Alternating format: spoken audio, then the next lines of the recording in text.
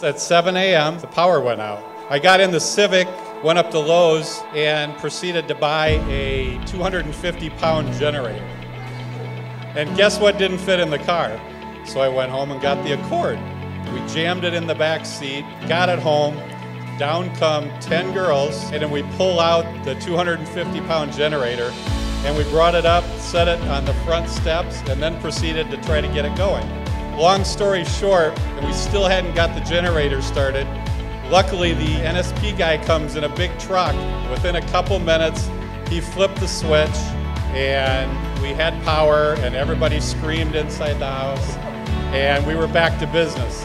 What Megan said was, hey, something always goes wrong at every wedding, and we just had it go wrong.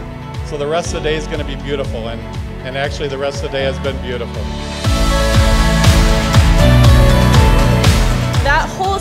Was like a perfect testament to your guys' relationship that's going to be fostering from this point forward. You can prepare and prepare and prepare and plan and cross-check and have all of these lists as much as you want, but sometimes life can just take you in a direction that you would never think is possible. And in those grounding moments, look to each other and look to God and just get through it. And most importantly, find humor and live in those moments because that's life and that's real. I'm filled with joy when I look back on the journey we've had. I know our new adventure together will be totally rad. so have fun and enjoy today as I put a new ring on your hand. With it, I promise that your future will be anything but bland. When you look at your new ring, remember you'll never be alone, for today you marry someone with a weirdness as weird as your own. I've known Sean quite a while. We met in middle school playing hockey. We were on the C team. It's a good team. Uh, yeah. Stands for captain. No, it doesn't. Uh, I met Megan freshman year at college.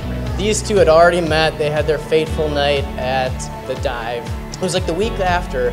Megan comes up to me and she's like, "Where's your friend?" And I'm like, "Well, I'll give you his number. You can call." So I gave her Sean's number, and she's immediately starts texting him, and I'm like, "That's not gonna work. He's not gonna. He's not. He's not gonna text you back." Instead, I was like, we'll call him, you know, we'll see what he's doing and see if we can get him to come out. So that was kind of when I got an idea that she liked Sean. I'll never forget the first time I saw you, looking dorky on purpose in a group picture. I knew I had to meet you, and then I did. And I remember how you were constantly making me laugh. I love you so much, Sean. You have my whole heart. And as Jagged Edge so eloquently puts it, we ain't getting no younger. We might as well do this.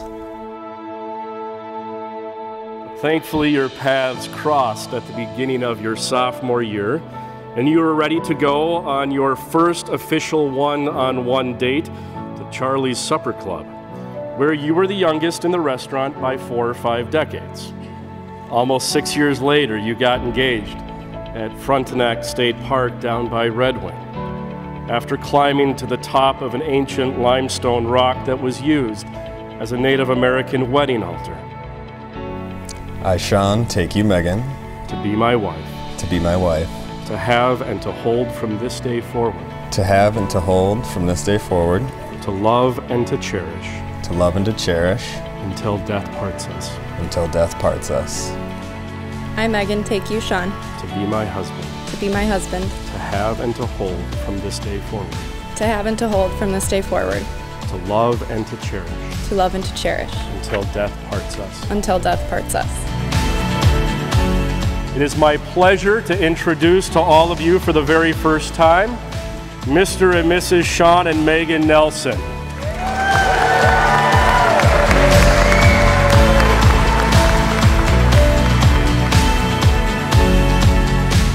It's been almost a decade since I first sat Megan on a broken futon and asked if she wanted to be Facebook official. Which, of course, means, will you go out with me? It's also been nearly two years since we got engaged, but it really didn't quite set in for me until I saw this name tag, which says Megan Nelson on it. But I am so excited to spend the rest of my life with you as your husband.